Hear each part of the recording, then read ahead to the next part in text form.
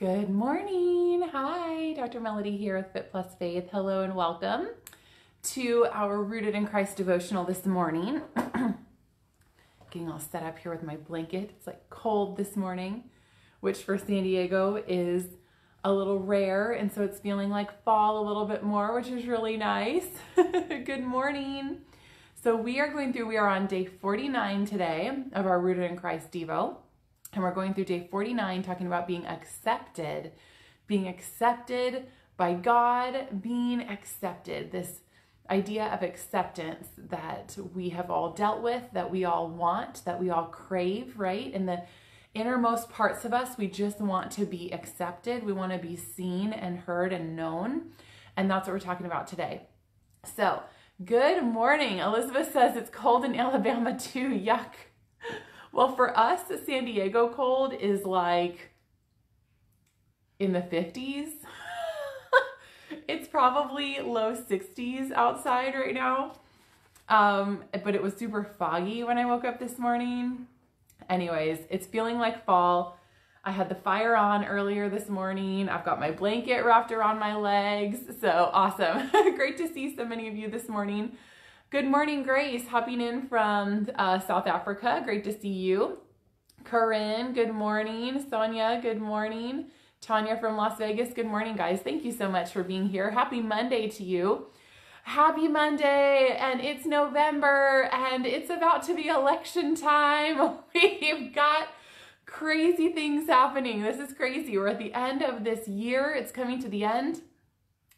It has been a doozy this year, hasn't it? But you know what I've heard from so many people as they have seen and felt God working amidst all the unexpectedness, all the chaos, all the craziness of this year.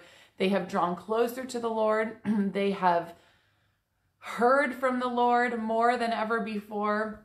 I've just been hearing beautiful stories, you know, and so even though it's chaos on the outside sometimes like god has never left us. He he is always here. He is always with us. And there truly have been beautiful amazing stories of people coming to the lord in this difficult time of growing in the lord. Um, maybe you know in in times of difficulty is often when there's some big lessons that can be learned when there's big things that god wants to birth out of us and and teach us in this moment that wouldn't have happened if life was just easy and, and even keel, you know? So it's through the difficult times, oftentimes, that there's powerful moves of God in our life if we allow it.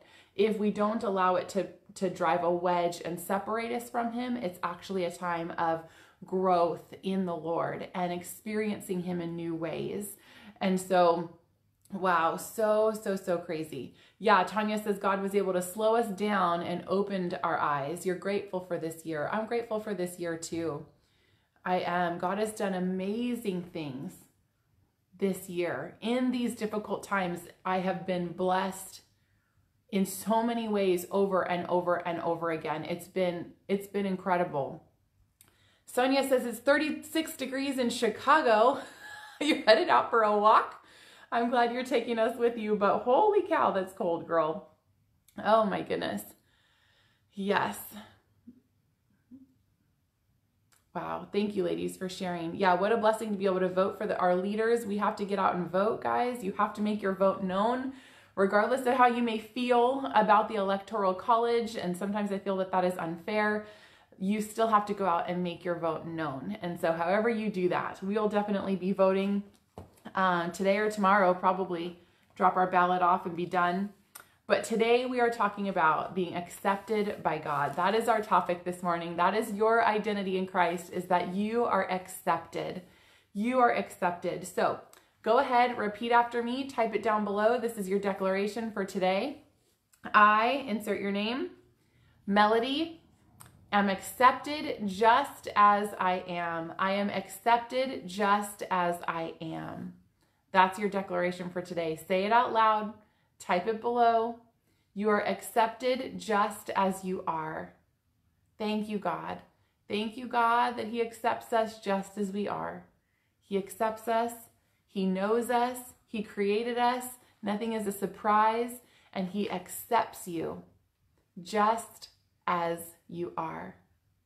This goes beautifully hand in hand with the Devo that we did on Friday, talking about it wasn't accepted, it was another word though, approved.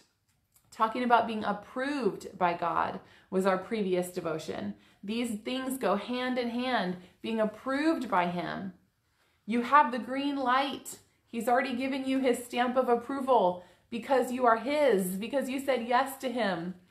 And now today we piggyback on that, that you are accepted by the Lord. I want you to think back has there been times that you haven't felt accepted?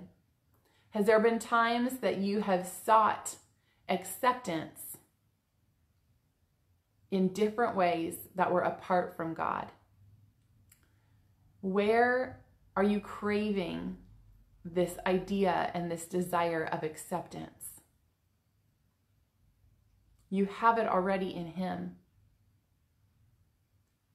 I think back to, you know, I mean, when we all go through our different challenges in life, different ages bring on different challenges and this feeling and this need for acceptance. I remember it must have been probably junior high that I struggled the most, seventh and eighth grade, with acceptance and just wanting to be accepted by my peers, you know. We all want that. We want that friendship. We want that those feelings of acceptance. There's so many different things that we will go through. And if you really look at the root of it, where is this coming from? Why am I doing these things or making these choices or feeling this way? It's because I either feel unaccepted or I'm doing things to try to earn or gain acceptance that are not good for me, right? Or that are just, they're skewed. Tanya says, I don't fit in anywhere. I only fit in with God. I work in a place where literally no one talks to me. I am alone, but I am okay with that. Wow, Tanya, thank you for sharing. Thank you for sharing. That is a challenging situation when you literally are like, I have no one. I have no one. I don't fit in. I'm an outcast. But who am I accepted by? I'm accepted by my creator, by the one that created me and knows me and loves me. I'm accepted, accepted by Jesus that gave his life for me. Will I allow that to be enough? Will I allow that to be enough? Or will I continue in relationships, in unhealthy ways of gaining acceptance? Will I continue in some negative things because I'm seeking that so desperately? But man, to sit back and to allow the acceptance of God to rush over you so beautiful. Yes, Sonia, just as I am, without one plea. She's from a beautiful song, Just as I Am. Yes, Corinne says, You are not alone here, Tanya. Exactly. This is why I love our community here at Fit Plus Faith is we are the body of Christ together, showing one another that we love one another, that we accept one another, that this is a beautiful place that you can find community, even though it's online. It's a beautiful thing that we have going here as the body of Christ. But even if we didn't have that, would we allow the acceptance of God to be enough? Just as we are, without having to strive, without having to work or earn or prove, just knowing we are accepted by Him. If that is an area that you struggle with, if that is an area that even as an adult you find yourself grasping and, and grappling for acceptance in other people, in other things, apart from God, not as Him as, as the sole acceptor of you to fill that hole, then spend some time with Him. Spend some time with Him. Just get alone and just let Him minister to your heart. Allow Him to Ask Him to soften your heart, open it up, and to just receive His acceptance without you having to prove or work or earn or do anything else to be worthy enough. You already are. You already are. It's time to allow yourself to receive that gift and set it and set you free. That's what it's meant to do, to set you free. So that you don't have to gain and earn and strive for other people's acceptance. You don't have to. He already has given it to you. You just have to receive it, right? You just have to take it in. Man. Tanya says, thank, thank God. It has been a hard season for three long years. I pray for what is meant for me. Yeah. Yep. It is a season, just like you said. These times, these are, these are seasons that will come and go. So let's dive into Acts chapter 10 and learn more about God's acceptance of us. Acts chapter 10, verses 34 through 38. Then Peter began to speak. I now realize how true it is that God does not show favoritism, but accepts men from every nation who fear him and do what is right. You know the message God sent to the people of Israel, telling the good news of peace through Jesus Christ, who is the Lord of all. You know what has happened throughout Judea, beginning in Galilee after the baptism that John preached.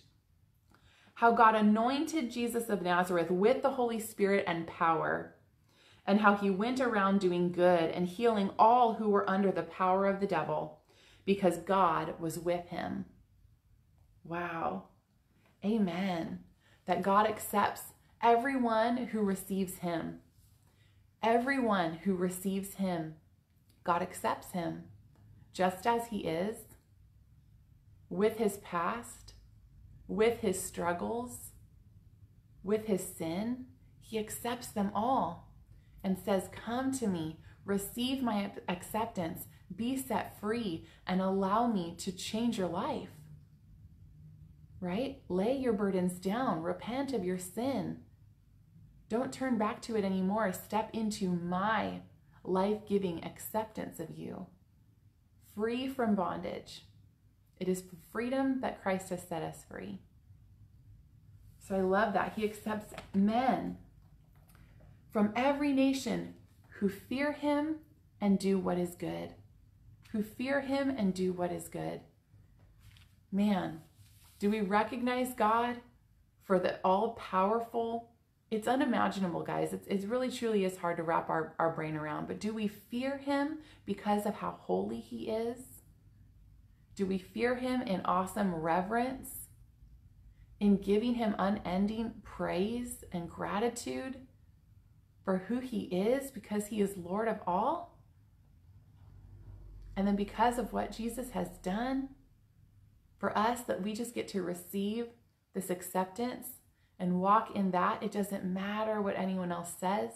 It doesn't matter what anyone else does. It doesn't matter if you're accepted into your group of peers at work, even though that's challenging.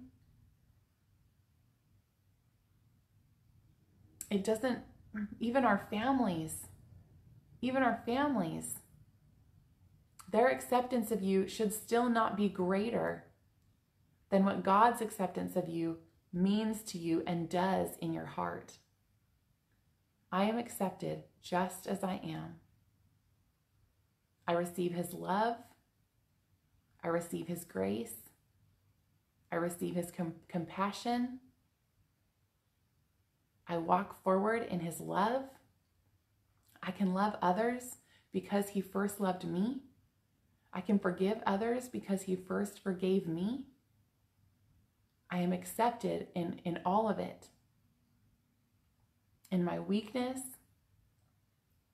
in my sin, I am still accepted and I seek the Lord for repentance, for forgiveness, for grace, and I choose to turn from those things and walk with Him into life, into life more abundantly because I've received the gifts that He gives me and I keep on receiving them. I don't push them away. I don't let myself get stuck. I don't let myself fall into the spiral of negative thinking, of doubts, of cursing God. I speak life over myself. I speak life to all those that I can. Being accepted by the Lord sets you free from judgment of man that still is an area occasionally that I'll deal with with certain people, wanting to fit in, wanting to have them not think bad of me or think less of me or whatever. But when we can see that for what it is and then get to that place that's, it doesn't matter. I want to love them no matter what. And I'm not going to allow their acceptance or lack thereof to eh, affect me. God's opinion and view is the number one and the only one. That's where I want to be. That's where I work to be in that place. But even if I fail and even if I give in or I let these other things, you know, overtake me for a minute, He's ready to accept me again. It's grace. It's beautiful, isn't it? Man, it's so good to be set free from the need of acceptance of man. I want to read you this beautiful uh, quick testimony in our devotion. So if you do have your journal, whether you have the um, paperback copy or the digital copy, throughout it is different testimonials of what God has done in these people's lives.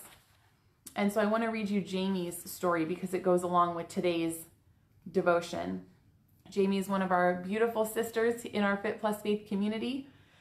And so she submitted a story. So she says In one of Dr. Melody's programs, Heart First Health, we began to explore our true identity in Christ.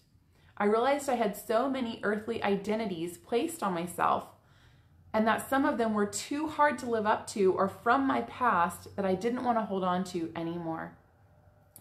When realizing where my true identity came from in Christ and all that comes with that, excuse me, I really had an aha moment.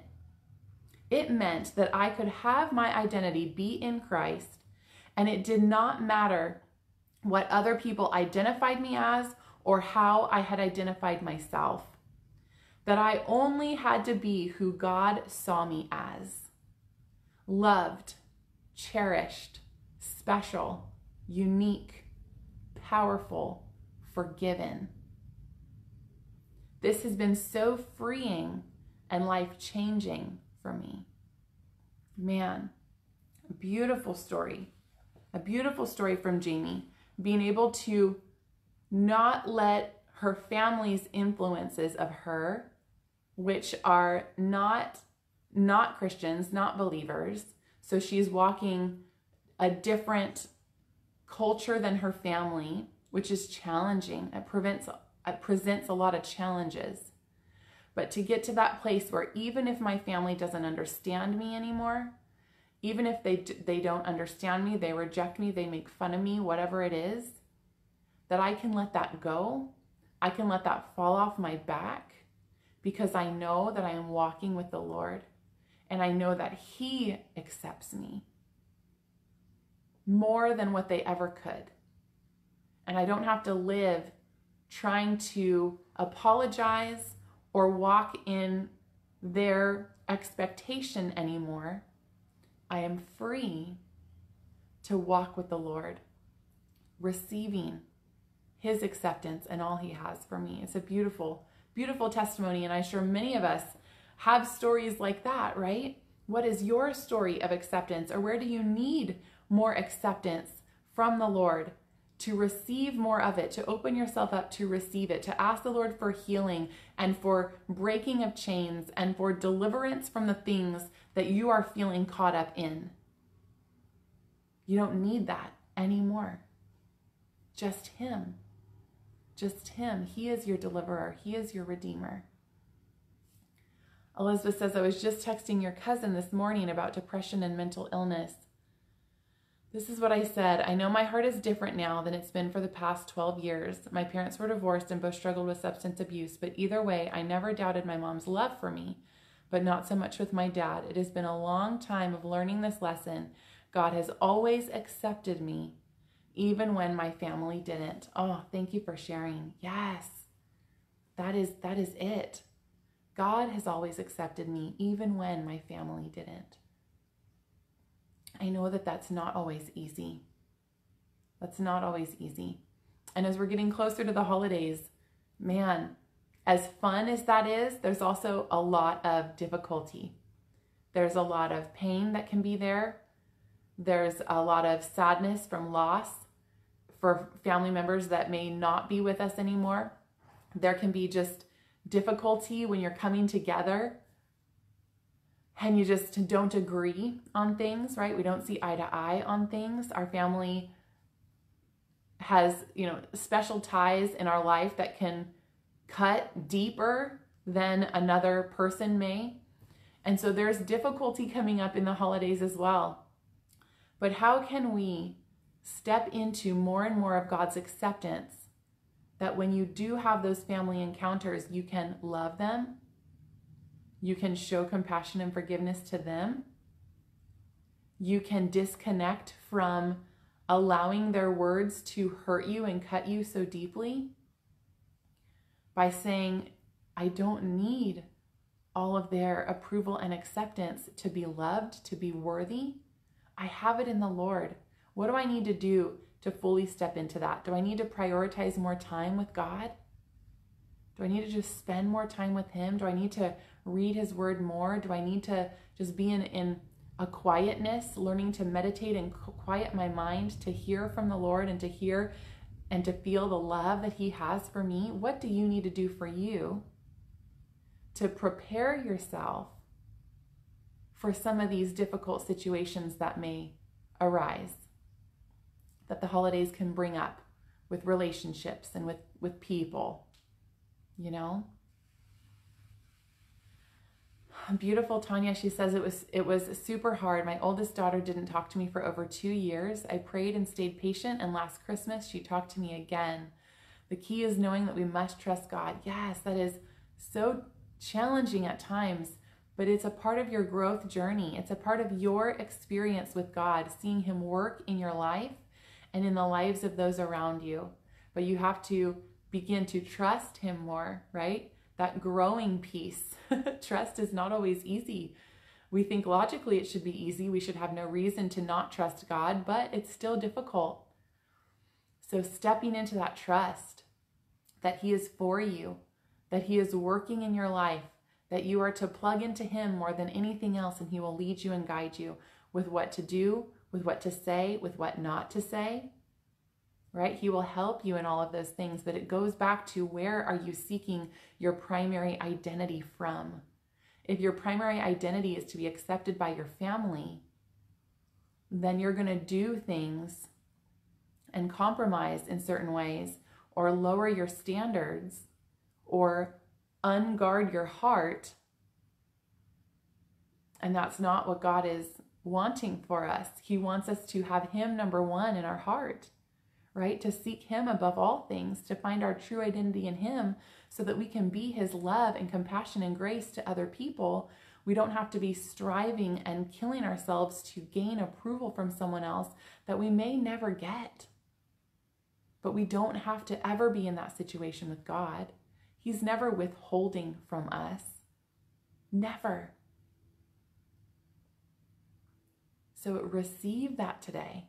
You are accepted just as you are. That's your declaration. Type it below if you haven't yet done it. Say it out loud. I, Melody, am accepted just as I am. I am accepted just as I am. And I have the trust to know that He will guide me, that He is with me, that He will lead me to the next step, that He will go before me, that He will work in other people's lives, I don't have to do it all. I don't have to be it all. I don't have to say the right thing or be afraid that I said the wrong thing. I just am led by Him. And at the end of the day, that's where I need to make my peace. At the end of the day, that's where I need to make my peace. If I know that I followed what He wanted, that I followed what He wanted me to do, that I was obedient to Him, then no matter what the outcome, I have to be able to make my peace with that. Man, but you are so loved. You are so loved. You are accepted. You don't need to go do or be or try to earn it from anyone or anything else. Your Heavenly Father loves you. Jesus died on the cross for you. Receive his gifts of grace and mercy and acceptance today. Amen.